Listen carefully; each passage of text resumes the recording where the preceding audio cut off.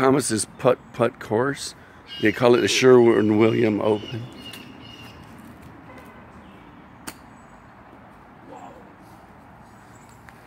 Here we are with Thomas Pittard early on a Saturday. It's a beautiful day here in Atlanta. This is a par 5 course. Just constructed by Thomas Pittard and his dad, Tom. Here we go. Getting closer.